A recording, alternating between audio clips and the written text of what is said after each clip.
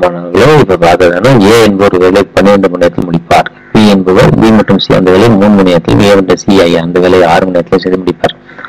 அதே வேலை பி மட்டும் தனியாக நேரத்தில் செய்வார் கேட்டாங்க. அதை ஏ can do a piece of work in 12 hours.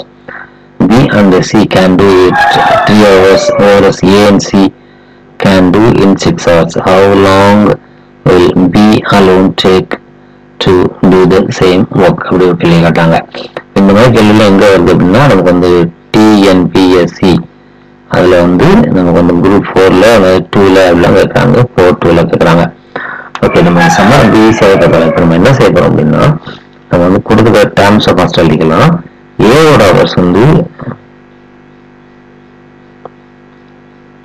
Twelve hours okay இது யாருக்கும் வந்து பியும் சியும் சேர்த்தாங்கன்னா பி பிளஸ் சி எவ்வளோ நேரத்தில் செய்கிறாங்கன்னா த்ரீ ஹவர்ஸ் ஓகே அப்போ வந்து ஏ ப்ளஸ் சி ஏ சின்னு நைன் ஹவர்ஸ் ஓகே சிக்ஸ் ஹவர்ஸில் முடிக்கிறாங்க.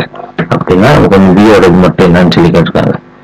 ஓகே இதை வந்து இவங்க எடுத்து தள்ளிட்டோம் ஓகே இப்போ பாருங்க. இப்போ ஏவோட ஒர்க்கை வந்து நம்ம ஒன்று எடுத்துக்கிறோம் அதாவது ஒர்க் வந்து எதுவும் ஒன்று அப்படி வச்சுக்குவோம் அப்போ ஏ வந்து ஒரு வேலையை பன்னிரெண்டு மணி நேரத்தில் செய்கிறார் அப்போ அடுத்து வந்து பி பிளஸ் சி வேலை செய்யறாங்க பியும் சியும் சேர்ந்து வேலை செய்யறாங்கன்னா ஒரு வேலையை மூன்று மணி நேரத்தில் செய்யறாங்க அதே மாதிரி ஏ பிளஸ் சி ரெண்டு பேர் சேர்ந்த ஒரு வேலையை ஆறு மணி நேரத்தில் செய்யறாங்க இப்போ நமக்கு என்ன கேள்வி கேட்டாங்கன்னா பி மட்டும் தனியாக செய்யணும். அப்போ இதுக்கு என்ன செய்யணும்? ஃபர்ஸ்ட் ஆஃப் ஆல் நம்ம என்ன செய்யணும்னா மூணு பேரும் சேர்ந்து அந்த வேலையை காலத்தில் முடிக்க போகிறாங்க அப்படி கண்டுபிடிக்க போகிறோம் அதாவது ஏ பிளஸ் பி அதாவது ஏயும் பிளஸ் பியும் பிளஸ் சியும் சேர்ந்தா எவ்வளோ வேலை முடியும் பார்த்தோம்னா நமக்கு அந்த எடுத்துக்கலாம்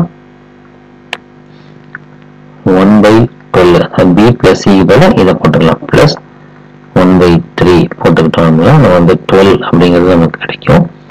வந்து ஒன் பிளஸ் ஃபோர் அப்படி கிடைக்கும். அப்போ five by two twelve hours அதாவது மூணு பேர் சேர்ந்து செஞ்சு இவ்வளோ நேரத்தில் வேலையை முடிச்சிடறாங்க. இப்போ e இதில் இருந்து நம்ம வந்து ஏவோட ஒர்க்கு மட்டும் என்ன பண்ண போறோம் அப்படின்னா பியோட ஒர்க்கை மட்டும் கண்டுபிடிக்கிறதுக்காக அதாவது ஏ பிளஸ் பி பிளஸ் சில வந்து A plus B plus C அதில் இருந்து ஏ பிளஸ் சியை சப்ட்ராக்ட் பண்ணிட்டோம்னா பியோட ஒர்க் மட்டும் கிடைச்சிடும் இப்போ ஏ பிளஸ் பி வந்து ஃபைவ் பை டுவெல் அப்படி கிடைச்சிருக்கு. ஏ பிளஸ் சி நம்ம கொடுத்துருக்காங்க ஒன் பை சிக்ஸ் அப்படி கொடுத்துருக்காங்க. எல்சியம் எடுத்த பன்னிரெண்டு அப்போ அஞ்சு மைனஸ் ரெண்டு அப்போ கிடைக்கும். அப்போ எவ்வளோ கிடைக்கும்னா த்ரீ பை டுவெல் ஹவர்ஸ் கிடைக்கும். இதை கட் பண்ணோம்னா இது வந்து ஒன் பை ஃபோர் ஹவர்ஸ் அப்படி கிடைக்கும். அதாவது ஒரு வேலையை. அப்போ பியோட டைமிங் எவ்வளோ அப்படின்னா பி அலோன் எவ்வளோ நேரத்தில் முடிக்கிறாங்கன்னா ஃபோர் ஹவர்ஸ் அதில் முடிக்கிறாரு. இதுதான் இந்த சம்பவமான ஆன்சர் தேங்க்யூ